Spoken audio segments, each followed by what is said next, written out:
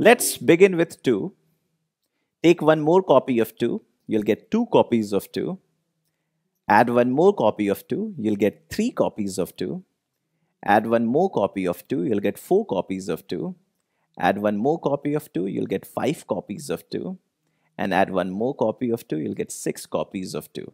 So basically you have 1 copy of 2, then 2 copies of 2, and 3 copies of 2, 4 copies of 2, 5 copies of 2, and 6 copies of 2. So you have 2, 4, 6, 8, 10, and 12. These are nothing but your first 6 even numbers. The first even number is your 2. Now try to rearrange the second even number that is 4 in this way. What you will get, you will get an oblong structure of dimension 2 by 3 so basically 2 plus 4 that is sum of first two even number is building up to a shape of 2 by 3. What about the third even number that is 6? Let's try to rearrange. You will again get an oblong structure of dimension 3 by 4.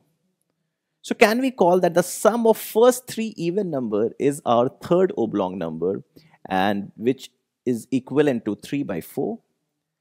Now what about adding the fourth even number that is 8?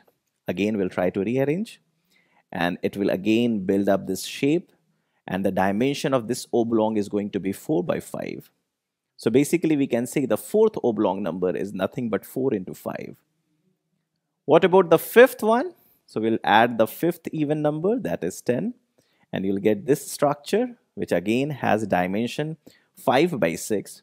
So we can say that sum of first 5 even number is nothing but 5 into 6 which is nothing but our fifth oblong number. What about adding the sixth even number? You'll get the next oblong structure or the next oblong number. The dimension would be 6 by 7. The sixth oblong number is going to be 6 by 7.